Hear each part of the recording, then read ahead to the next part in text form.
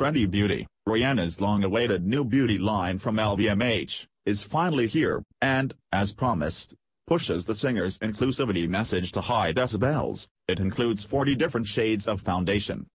Unveiled at midnight at Sephora, also owned by LVMH, the singer welcomed the Rihanna Navy by working the register herself, in an event timed to New York Fashion Week.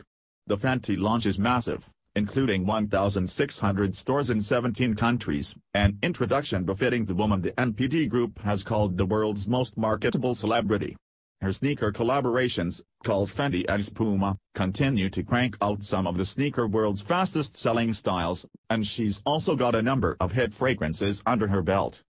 The campaign includes a video for Fenty, which is her last name, with women of all different colors and complexions. Since the deal, reportedly worth $10 million, was announced earlier this year, the singer has said that her mission was creating products that flatter everyone's skin tone. While women of color make up 35% of American women, the cosmetics counter has been a source of long-simmering frustration, even with niche lines specifically targeted at them. With 91 different products, LVMH describes the collection as both edgy and girly, focusing first on the Fenty face, finding a combination of matte, shine-free concealers, foundation and powder, before layering on colors, shimmer, glitter and a universal product called Gloss Bomb. The line comes from Kendo. LVMH's beauty brand incubator, which has also launched products for Marc Jacobs and Kat Von D.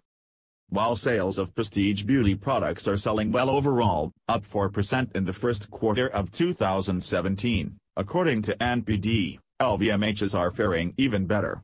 The luxury brand holding company says organic sales in its beauty and cosmetics division are up 12% in the first half of the year.